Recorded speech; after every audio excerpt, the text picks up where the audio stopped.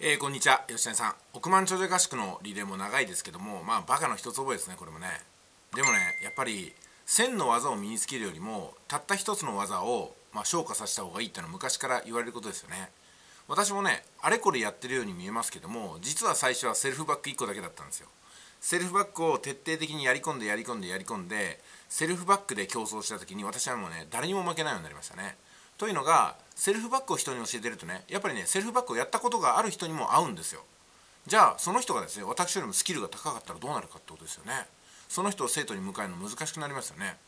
でも私はね出会ったことがないんですよ、うん、やっぱりねセルフバックで20万30万稼ぎましたって人はもう山ほど会いました。あでも山ほどって言っても本当に氷山の一角です。本来だったらもっともっと多く出てもいいんですけどね。じゃあセルフバックでね100万円稼いだ人っているのかなと思ったら私ね1人しか会ったことないですね。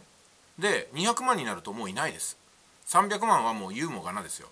多分セルフバックの全国大会だったら私は優勝するんじゃないかなと思います。で今ポイントサイトも全く同じ仕組みですからこれまた優勝するんじゃないかなと思いますよね。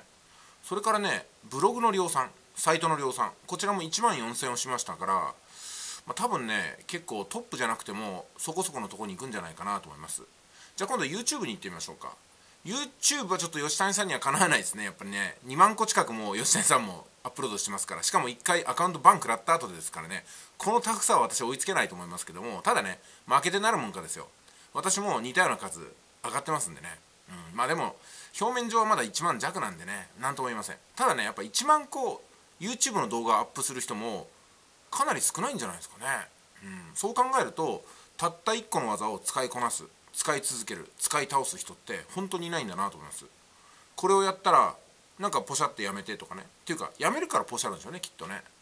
どんなことでもずっとやったらむちゃくちゃ熟練するんじゃないかなと思うんですよ。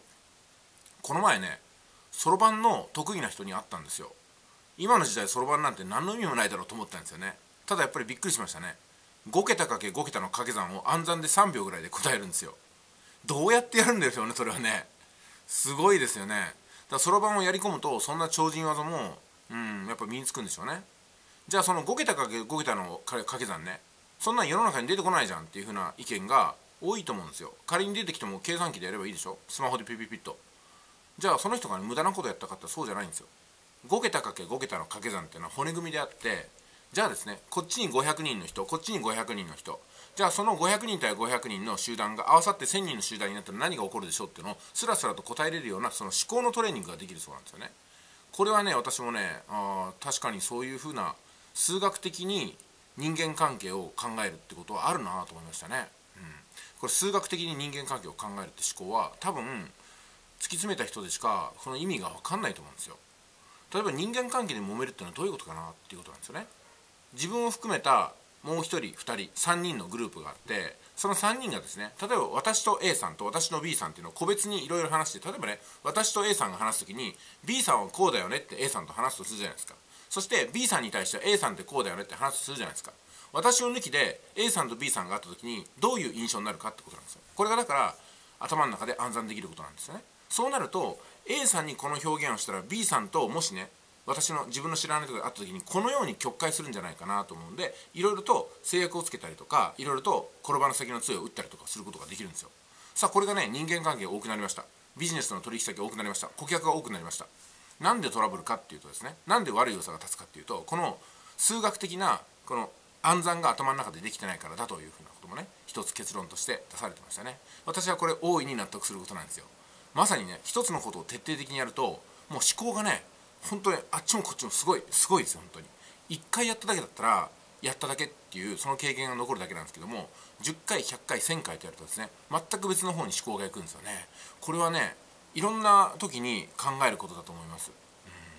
すごいね分かりにくい例えで申し訳ないんですけども懸垂を100回できる人ってどうですかね？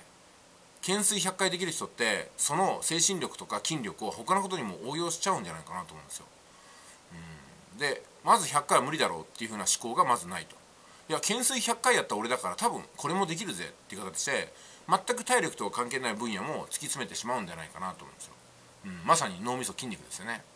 さあこれからね YouTube をまだまだたくさん作っていきますけども今1万個2万個と YouTube をねやる中で億万長者合宿は数千個作ってるわけじゃないですか。これによってねこの億万長者合宿に引き付けられているともう引き寄せられてる人っていうのは延べで数万人になってますよね再生数考えてみたら。もっとか数十万人とかですねきっとね。このムーブメントもすごくないです。同じ人が見てる場合もあると思いますけども延べ人数で言ったら億万長者合宿の総再生数ってちょっと恐ろしいことになってますよね。だって私と吉谷さんの交換日記みたいな数なんで3000回やり取りしてたら 3000PV でいいはずなんですよ。だからこれが3万にも30万にも300万にもなってるってことですよ合計で。すごいですよね。ということで皆さんもね何か一つのことを突き詰めるともう摩訶不思議な現象が起きてますね、うん、圧倒的な数凡事でって誰も追いつけないぐらいのたった一つのことに、うん、まあ集中していくっていうのはどうかなと思いますよね、うん、これがね手にあるカードを使い倒すってことだと思いますね私はね。さあそれでね今回私 YouTube あるある YouTube アンチコメントあるあるっていうねそんなテーマでちょっと動画を作ろうかと思ってるんでネタを整理してたんですけども例えばねデマを流すなっていう人いますよね。YouTube でいろいろ喋ってたらデマ言ってんじゃねえよみたいな人いますよね。うん、うん、まあデマっていうのはね実はねあの作る方が難しいんですよ、